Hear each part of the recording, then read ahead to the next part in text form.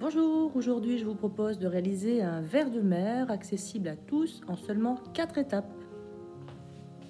Je viens avec mon spalter déposer en jus l'ensemble de mes teintes, le blanc avec le vert.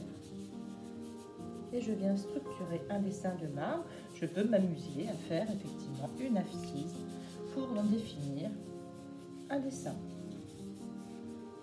Comme dans beaucoup de mes réalisations, vous remarquerez, il y a toujours une partie qui va être calme et une partie qui va être plus nourrie, qui servira à mettre en valeur l'autre partie.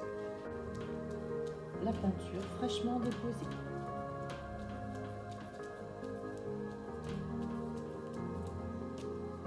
Je peux aussi rouler mon éponge dans la peinture, ce qui donnera un dessin différent.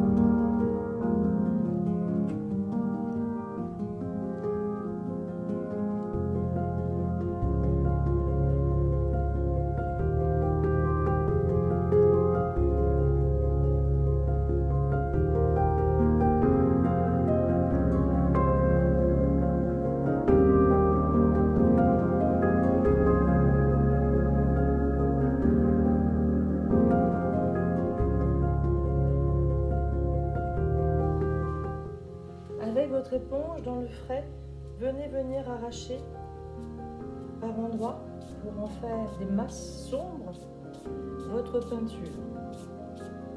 Et c'est à cet endroit-là que vous aurez vos gros cailloux foncés. Il ne faut pas oublier les dessins du marbre. Pour indication, vous aurez trois dessins dans le marbre. Des gros cailloux avec la contrepasse, le lit et la passe sont des marbres que vous allez pouvoir retrouver veinés, structurés de façon plus linéaire et plus étirée. Ici, je vous propose de réaliser un marbre en contrepasse. Imaginez une tranche de saucisson, une rondelle. Vous allez avoir toutes les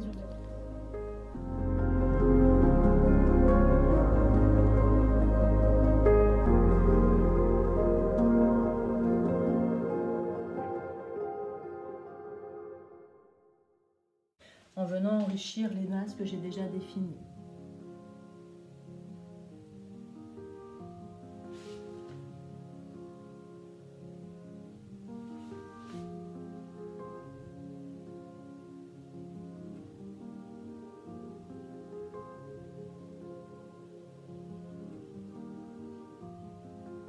Ce travail vient enrichir celui que vous avez réalisé précisément auparavant.